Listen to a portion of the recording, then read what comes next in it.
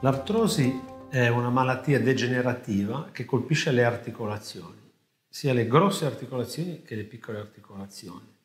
Può essere monoarticolare, ma molto più spesso è un, è un percorso, un processo degenerativo che incomincia dalle piccole articolazioni e poi si estende alle grosse articolazioni. Ovviamente le manifestazioni dolorose peggiori sono spesso sulle grosse articolazioni pensiamo alle ginocchia, alle anche, perché sono sottoposte al carico. Il carico, il peso e la forza di gravità giocano un ruolo fondamentale nello sviluppo dell'artrosi. Abbiamo detto che è un processo degenerativo, quindi coinvolge tutta l'articolazione e questo vuol dire che coinvolge la cartilagine, che è quello strato che si sovrappone alle superfici ossee che permette il, lo scivolamento delle superfici articolari, ma anche la membrana sinoviale, che è quella parte che invece avvolge completamente l'articolazione. È un danno che prende tutta l'articolazione, è un processo che va avanti negli anni. Colpisce prevalentemente le persone più anziane. Gli studi ci dicono che il 50% delle persone che hanno più di 60 anni soffrono di artrosi.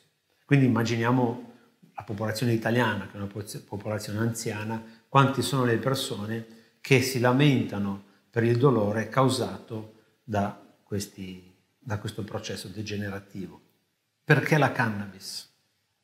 Allora, intanto cominciamo col dire che non esiste una terapia per l'artrosi, è un processo degenerativo, quindi il massimo che noi possiamo fare è rallentare questo processo. Quindi abitudini di vita, stile di vita, alimentazione, diete, sono tutte cose che ci permettono di liberare le articolazioni dalla presenza di processi infiammatori, quindi dalla presenza di eh, qualche cosa che peggiora eh, il processo degenerativo, oppure stile di vita che ci permette di eh, migliorare il movimento articolare, perché non c'è nulla di peggio che bloccare un'articolazione.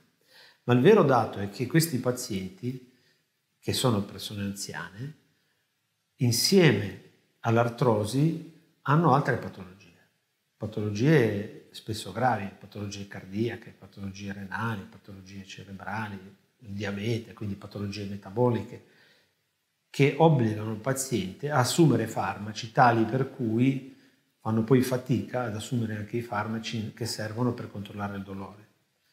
Faccio l'esempio, un paziente che assume un farmaco eh, anticoagulante orale non può prendere gli antinfiammatori. Quindi avere a disposizione una pianta come la cannabis che ci permette di controllare il dolore, ci permette di controllare il processo infiammatorio, ci permette di controllare la risposta immunitaria verso questa articolazione senza che questa abbia effetti collaterali, senza che si possa sovrapporre all'utilizzo di altri farmaci è sicuramente un grande vantaggio. Per questo sempre più nelle persone anziane si va utilizzando, si sta utilizzando la cannabis anche per il trattamento dei dolori che hanno una genesi artrosica.